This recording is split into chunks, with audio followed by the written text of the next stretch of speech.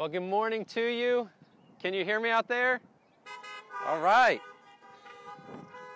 Awesome. Well, if you have your Bible, and I hope you do, I invite you to open with me to Philippians chapter 4 this morning.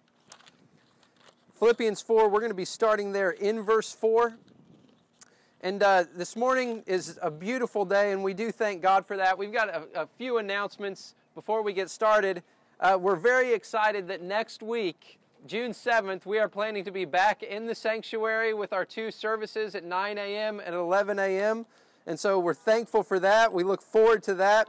And so uh, come next week, and, and of course, necessarily things are going to look a little bit different. We're going to have fewer seats in the auditorium. Uh, we're going to have hand sanitizer, and of course, uh, we encourage social distancing as we gather back together. But we are excited uh, to be able to see one another and interact with one another.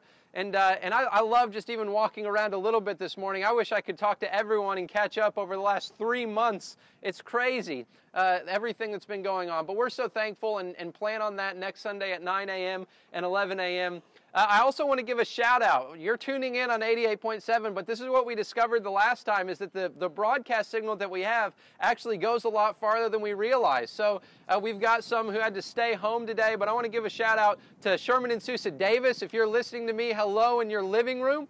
Uh, also, Bonnie Ogle, if you're out there, hello to you. Anna Johnson, if you're listening in, hello to you. I hope that they are tuning in. And of course, all of you here in the parking lot, welcome to church this morning. Uh, Philippians chapter 4 is where we're going to dive in. And of course, uh, this, is, this has been a, a, crazy time. I was talking to someone this week. They said if they hear the phrase uncertain times anymore, they're likely to punch someone because they've heard it so much. And I think that's the point where all of us are at. We're tired of this. We're tired of everything that's going on. And to add to it, it's not just COVID 19, it's not just a pandemic, but there's all kinds of things going on, all kinds of unrest in our culture, in our country. And, and we want answers, don't we? We want a sense of peace amidst all of the anxiety. And uh, we can imagine a time, can't we, when racial, racial tensions are high, when disease runs rampant. We can imagine a time when Christians are persecuted. But what's interesting this morning, and this is what I love about the scriptures, is as we look to the scriptures this morning, we are looking into a time that is very much like ours, except even worse. You see, we're going to read from the book of Philippians this morning, written by the Apostle Paul as he was imprisoned and he was imprisoned there, likely in Rome, as he was there awaiting trial. And yet, even in the midst of prison and persecution, even in the midst of a world that was racially hot because Paul was a Jew and Jews were looked down on at that time, as they are as they have been for a long time, even in the midst of a world where so much was uncertain in Paul's life, he wrote this letter to the Philippians that I believe has a message for us in 2020 today. And so, uh, as we look at this, uh, uh we're going to start there in chapter 4 in verse 4. But I want to tell a little bit of a story before we do. Of course, uh, every night, Valissa and I put our girls to bed, and, uh, and our girls are old enough to where they're watching some Disney princess movies, and every good Disney, Disney princess movie has a villain. And uh, their favorite movie right now is Sleeping Beauty, and so the villain there is Maleficent. And uh, so at times, especially when I put the girls down, I don't know why it just seems to happen to me. I think it's because the girls know how to play me a little bit better than Valissa. But I'll go in there and I'll put them down, and as I'm about to walk out the door, they'll say, Daddy, Daddy, I'm scared. And I'll say, Well, Adelaide and Selah, what are you scared of? And they'll say, I'm, I'm scared of Maleficent. I'm, I'm scared she's going to come and get me.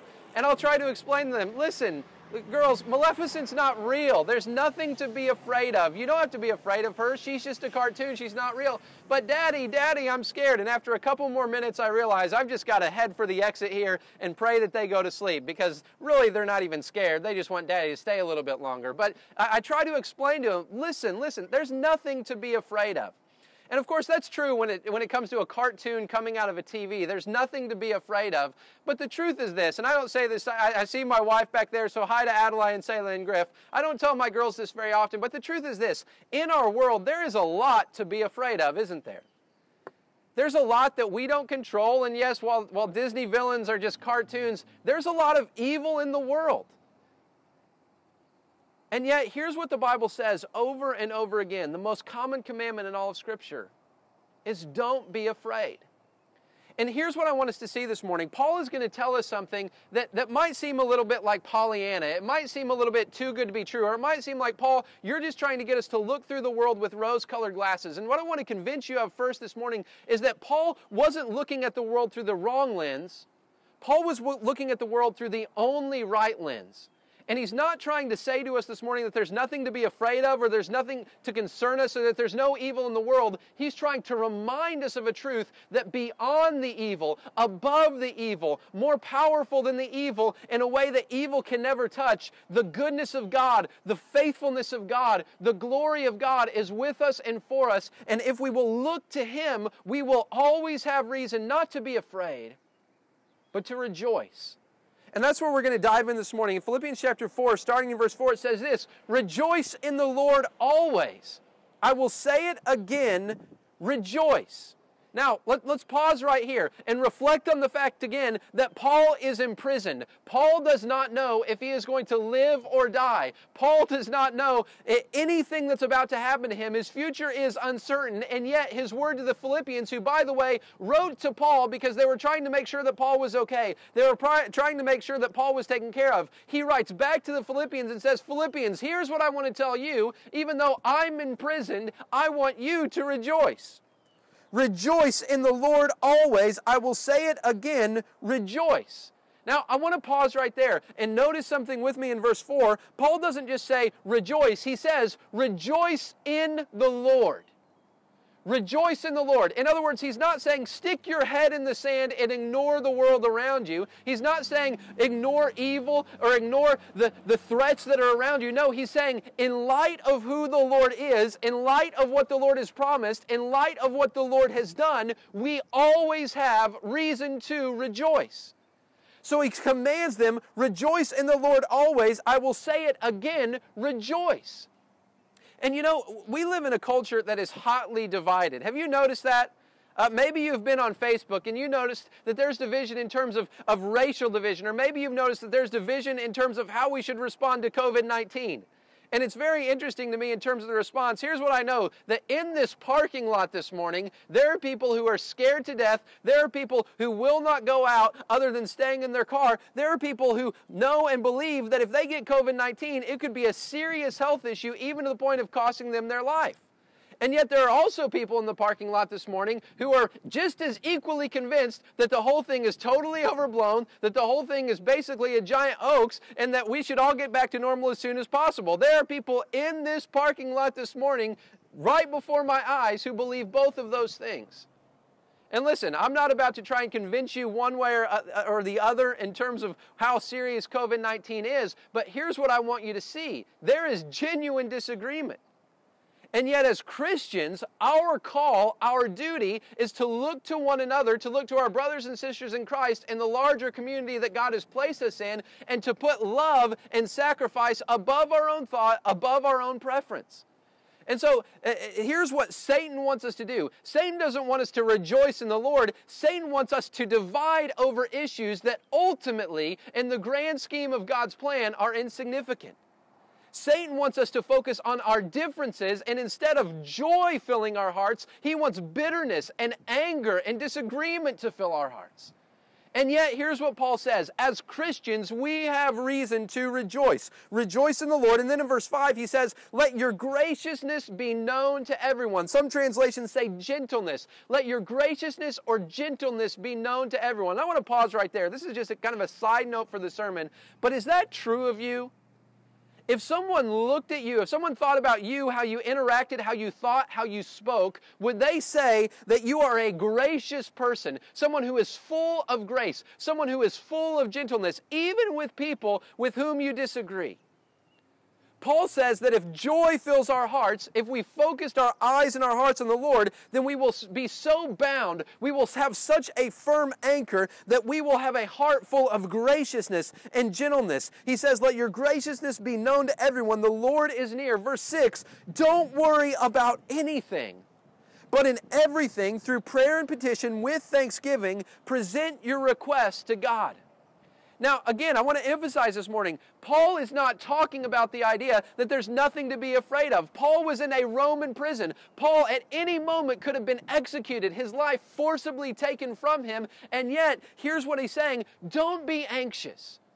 It's not that there's not a giant to slay, it's the fact that God is with you. It's not that there's not a king who might throw you into a furnace, it's the fact that God will go with you into the furnace. It's not that the lion's den isn't full of lions, it's that God has the power to shut their mouths. Paul is trying to say, don't worry about anything, not because there aren't scary things in the world, or unknown things in the world, or evil things in the world, but because we serve a God who is greater. Look at how he says it. Don't worry about anything, but but in everything, through prayer and petition with thanksgiving, present your requests to God. Now, I want us to pause and unpack this for a moment. Paul first encourages us to give thanks. In everything, in every circumstance, he says, give thanks. And that's something that we as Christians, only we as Christians, can give thanks in an environment such as we face today. And why do we give thanks? Here's why we give thanks because we believe that every moment, that every action in the long tapestry of history is part of God's plan, is under God's control, and that no matter what we face, no matter what our environment is, God has the ability to turn what Satan intends for evil into something good and edifying for us. Therefore, no matter what we face, no matter what we're feeling, and listen, I'm not trying to downplay it. I know that some people here are in the midst of economic economic hardship. Some of you have, have lost jobs. Some of you have lost your source of income. And listen, I'm not saying that that shouldn't concern you, but I am saying that Paul tells us take that worry and give it to the Lord. And give thanks to God that He holds you in His hands, that He has a future for you, that His plan for you, though our plans have been shaken, His plan for you has not been shaken at all. And so, we as believers, we can go to the Lord with confidence. We can go to the Lord with thanksgiving. Why? Because our treasure isn't in heaven. Our hope isn't in the world. Our hope isn't in the government. Our hope is not in anything that we see with our eyes. Our hope is in the unfailing love of Jesus. Therefore, let your requests, prayers, and petitions present them to God. And then it says this, and the peace of God, which surpasses all understanding, will guard your hearts and minds in Christ Jesus. When you turn your worry into prayer, God will give you peace. But if you hold on to your worry, then that worry will either morph into bitterness, it will either morph, into fear, or it will morph into anger. And listen, we, we live in a time where people have very white hot emotions. Some people are deathly afraid, some people aren't afraid, some people are angry. Some people are, are so angry that they take it out in terms of violence, or maybe people are so angry that they'll take it out on those who disagree with them on social media, or they'll say things or think things in their heart. There's a heart full of bitterness and rage. Listen to me. I don't care whether you're experiencing primarily fear right now or primarily anger. If you are afraid or if you are angry, you are easily controlled. The Bible warns us against fear. The Bible also warns us against anger. And listen to me if Satan can lead you to a spot where you are either angry or afraid, he can easily manipulate you. He can manipulate your emotions. He can manipulate your decisions. He can manipulate and even attack. And this is what I believe is going on. We're in the midst of a spiritual attack where Satan is using everything around us and the emotions and thoughts that we have in response to it to divide us, to make us angry, and ultimately to separate us from the grace that God wants to pour out on us as His children. Listen to me. We as Christians can neither be afraid nor can we be bitter or angry because we serve a God who is in control and reminds us that His peace, that peace that passes understanding, is available to us. And think about this for a moment. There is so much that I do not understand right now. I don't understand the science of COVID 19. I don't understand whether the statistics that we're being given are correct or not. I don't understand why a police officer would have his knee on the neck of George Floyd for over seven minutes as he's gasping for breath and asking to breathe. There are many things that I don't understand. But here's what I understand that God can give me a peace that surpasses understanding. And listen, I'm not going to get political this morning, and I want to say this loud and clear. I am so thankful for our law enforcement who put their lives on the line every single day to uphold law and order. But here's what I know that in the heart of every human being is sin. And it can jade us, it can lead us to make decisions that maybe we never would have made otherwise. And in the midst of these moments, we have to have an anchor. We need a peace that goes beyond our understanding because we know there are things in this world that we will not understand. But Paul says the peace of God, which surpasses understanding, will guard your hearts and minds in Christ Jesus. And notice that language. We need to guard our hearts. What does it say in Proverbs chapter 4, verse 23? It says, Guard your hearts above all else, because everything you do, everything in your heart flows from it. And Paul says this that we have a peace beyond the understanding of this world that can guard our hearts in Christ Jesus. Now, I want us to move on to verse 8. And this verse, I believe, is so powerful and so impactful for the moment we find ourselves in. It says this in verse 8 Finally, brothers and sisters, whatever is true, whatever is honorable, whatever is just, whatever is pure, whatever is lovely, whatever is commendable, if there is anything of moral excellence, and if there is anything praiseworthy, dwell on these things. Now, again, Paul isn't saying here ignore reality. Paul isn't saying shut off the evening news.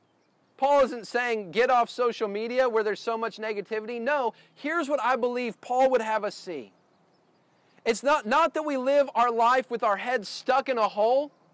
It's not that we live our lives ignoring the world around us. It's that we as Christians must see beyond the headlines. We as Christians must see beyond our physical sight, and we must see that God is at work in the midst of the turmoil, that God is at work in the midst of the difficulty, that God is with us, that God is just as present with us now as He has always been. And so here's what I want us to see from this text is that Paul is asking us to look beyond our physical physical sight. And as we look beyond our physical sight, as we look beyond the headlines, as we look beyond the circumstance, he says that we will notice that which is true. That we will be able to discern that which is honorable that from a prison cell in Rome, Paul was able to fix his mind and dwell his thoughts on that which is pure and lovely and commendable and praiseworthy. That even though he was unjustly imprisoned in that moment, he was able to focus on what was good. And this is so important, Christian. This is so important, believer, because we as believers have been told don't be conformed to the pattern of this world. In other words, don't let Satan take your eyes where he wants to see them. Don't let Satan distract you by all that he wants to use to manipulate and divide you. Fix your eyes on Jesus. Renew your mind with what is true so that the peace of God will guard you and that your mind will be transformed to love the beauty and glory of God. You see, my concern for, for this church is not primarily that we're going to get COVID 19 and we're all going to die. My concern is that this will be a moment where a spiritual disease of fear and a spiritual disease of apathy and a spiritual disease of anger will take over. And the only antidote to that disease is the grace of Jesus Christ. This is what we have to offer ourselves. This is what we have to offer the world. Our only hope is what God is doing in us and through us in this time. But listen, it's so important, and I want you to see the dots connect. Paul says, if you have anxiety, if you have worry, take that anxiety, take that worry, turn it into prayer, and then, once you have done that, focus your, mar- uh, your heart and mind on what is true. And sometimes I think as believers, we get steps one and two, take our worry, turn it into prayer. We get those things right. But I wonder, are we disciplining ourselves to focus on that which is true? To focus on that which is good? And as, as I think about our culture today, of course, you know, our, our culture, our country is in a bit of tumult, tumult, isn't it? I mean, we have riots going on in different cities, buildings being burned to the ground. But here's what I believe I believe that that is the overreaction of a few who are irresponsible. But I, I want to share something with you. that yesterday, one, uh, one African American brother in our church, here's what he sent me yesterday morning. Sent me a text that said this Darkness cannot drive out darkness, only light can do that. Hate cannot drive out hate, only love can do that. That's a quote from MLK. And then he sent me this verse Dear friends, let us love one another because love is from God, and everyone who loves has been born of God and knows God. And listen, we can look at the TV screen that, by the way, has absolute monetary incentive to draw our attention no matter what. That's what the TV is going to try to do to you. That's what the news network is going to try and do to you. But I have a brother in Christ who texted me and said, We need to love one another. And as I look around the world, as I look around the country, I believe, and I'm trying to dwell on what's right. I'm trying to look past what Satan wants to draw my eyes to, and I'm trying to remember that even though there is a community of black and brown brothers and sisters who feel grief, who feel pain, who feel injustice, yet the response of more than the majority is to say, love one another. Let's not give in to hate. Let's not give in to division. Let's not give in to separation, but let's look beyond what the eyes see and let's see that which is commendable. Let's see that which is true. Let's see that which is excellent and praiseworthy. And here's what Paul says don't just think about it for a moment, dwell on these things. Let your heart be transformed and molded by these things. And of course, ultimately, here's what we know that even though there is injustice in the world, even though there is evil that exists, that our hope is in the fact that God loved us so much that He sent His Son. And He sent His Son to die. He sent His Son in our place. He sent His Son on the cross. And here's what I believe Paul is not trying to, to, to, to distract us. Paul's not trying to get us to think positively as if that's the, the answer to our questions. No, Paul can say in chapter 4 of Philippians, dwell on what is good and right and true, because he has always already said this in chapter 2 of Philippians that at the end of time, every knee will bow and every tongue will confess that Jesus Christ is Lord to the glory of God the Father. Paul can say, focus on what is good because he had a vision of Jesus that is brighter than the sun that is shining on our heads right now. Paul Could look at the world around him, as evil as it was, as unjust as it was, as full of oppression as it was, and he could say, There is a deeper hope, there is a deeper reality, and it is unchanging, it is fixed in the heavens, that Jesus is on the throne, that Jesus is ruling and reigning, and for those of us who are called by his name, that anchor will never move. That is the hope of the gospel. That is the hope that we can offer. And listen, before we ever offer it to the world, I hope that we are letting the gospel transform our own hearts. Because the gospel is first for us. We serve a God who faced evil and took evil upon himself in the form of the Son, Jesus Christ. He died for evil, He died for all sin so that you and I could have life, so that you and I could have breath, not just for now, but for eternity. And here's what I believe that if we can learn this lesson from Paul, if we can learn in the midst of everything going on around us to focus our eyes on what is true, then God will do a work of healing in our hearts so that we will neither be afraid nor angry. And then God can use us to reach this world. Because, church, we are the only ones who have the answer. We are the only ones who have a lasting hope. And yet, before we offer that to the world, we have to be transformed ourselves. And, church, that's my desire for myself. I don't want to give in to anger, I don't want to give in to fear. I don't want to give in to lies or bitterness or hatred. I want to let my heart be filled with the love and joy of Christ. And I want that light to be so deep in me that it shines out. And the world